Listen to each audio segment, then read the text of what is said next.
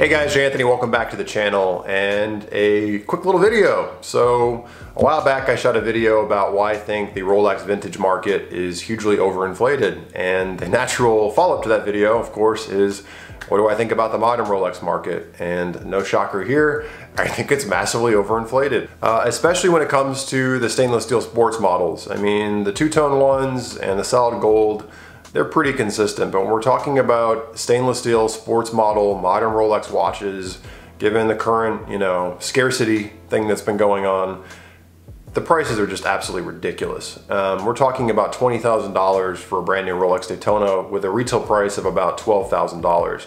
Uh, I've owned a Rolex Daytona and I bought mine probably four or five years ago at the time for about 8,500 bucks and sold it for roughly about the same shortly thereafter had the 4130 movement. It is basically the exact same watch they're selling now new, minus a ceramic bezel.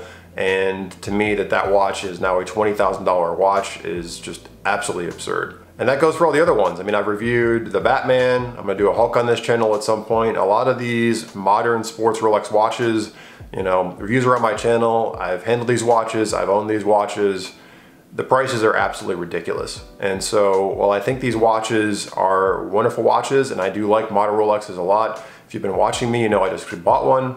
I bought the Rolex Sea Dweller Deep Sea, but the reason that I bought this particular one, the 11660, is because this is really the only modern stainless steel Rolex sports watch that I like that I can actually buy for less than the new retail uh, since I bought it used. Because even used modern Rolex sports models are now selling for basically what they were or above in a lot of cases what they sold for new. And it is just absolutely crazy to me. Like I said, the Daytona is a $20,000 watch or that, you know, the GMT Batman, which is a nice watch, absolutely, you know, to me is now a 14, 15, some odd thousand dollar watch. It's gone up more than that in the past. You know, some of the GMTs that came out with the Jubilee bracelets, again, 17, $18,000 watches. The Hulk is now back down to 14,000 and for a while it was 17, 18,000 dollars. Crazy. Um, I mean, the Hulk, for example, is just a Rolex Submariner with some green coloring to it. Uh, it's a great watch. I've had the experience with them in person. It feels exactly like a Rolex Submariner, which up until a couple years ago was retailing in the eights. Now it's about, you know, 9,000 retail if you can find one in the current period as I'm taping this video. Uh, at $8,000, $9,000, yeah. I mean, it's, it's a nice watch. It competes well with Omegas and other watches in its price point. In-house movement is nicely decorated and finished. Uh, the newer ones have a great power reserve, some great features. You know, the Oyster bracelets and clasp are finally about where they need to be for that price range. Ceramic bezels are beautiful, as I mentioned in previous reviews. I think the ceramic bezels on Rolexes are beautiful, especially when you get into these ones with the platinum, you know, indices on them. They're great watches, um, but like I said, they compare well to Omegas and other watches in their price point when you're doubling their price point, you know, to 14, 15, 16, $17,000, $20,000, they're no longer competing with watches that they should be competing with. They're not competing with quote unquote haute horology. And at that point, you know, it doesn't make as much sense. Now, are they still going to be, you know, good reliable Rolexes? Yes. Are they probably going to hold their value better than most watches over time? Absolutely. But if you're going to pay $15,000 for like a Rolex GMT Master Batman or 14, 15, 16 grand for a Submariner Hulk, you're also in the same price range of a used a Royal Oak. And so with that watch, you're getting a whole nother level of finishing. You're getting, you know, a Geneva Seal quality movement. You could be looking at some pre-owned Lange. You could be looking at some pre-owned Patek Philippe's.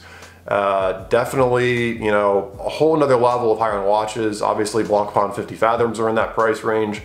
Uh, but the point is, is at their price point, they're fantastic watches. Rolex makes, they're honestly probably my favorite current watch brand at the price point that they're being built at. The problem is, is again, when these prices get inflated, now you're comparing them to haute horology. And with haute horology, you know, you're getting an extra level of finishing you're not gonna see with a Rolex. And, you know, I'm one of those people that that may not be a big deal to me. I'm more of an engineering and durability kind of guy.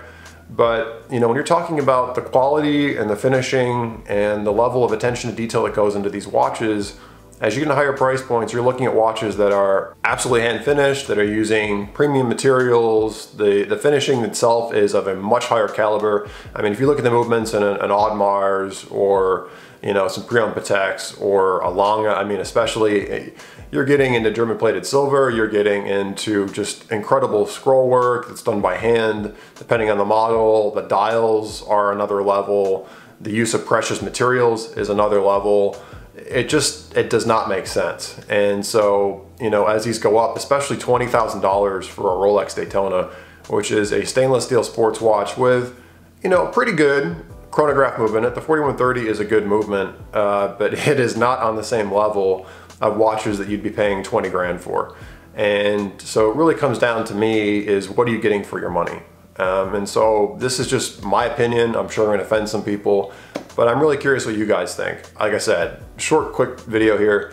Uh, but yes, like I think Rolex's vintage models are just stupidly overpriced. I think modern Rolexes as well are stupidly overpriced. This whole scarcity thing, um, I think we're gonna see potentially with the current situation in Hong Kong and some other things playing out, if we see a lot of sports models hit the market again, I think we're gonna see a lot of these prices plummet. And Rolex keeps moving up market and you know, as someone who owns a lot of Rolexes and has, obviously there's some potential benefits in that for me.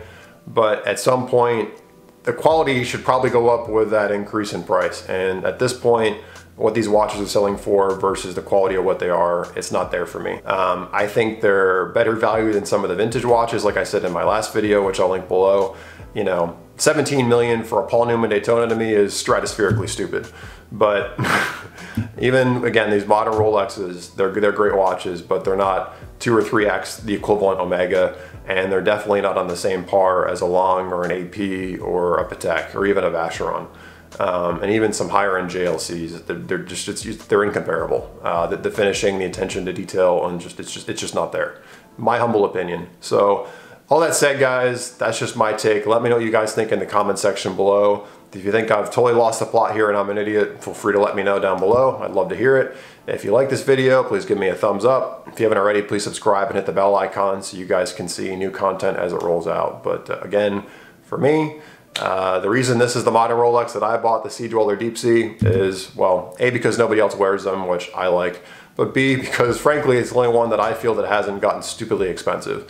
Yes, it's a $10,000 plus watch, but I'm not paying 20 grand for a watch that was originally 12 grand. And so the fact that I can even buy it below retail at this point in time, who knows how this will play out, right, is there's a little bit of value left in it for me. But anyway, Short and sweet. Thank you guys so much. Take care. I'll see you guys real soon on the next video.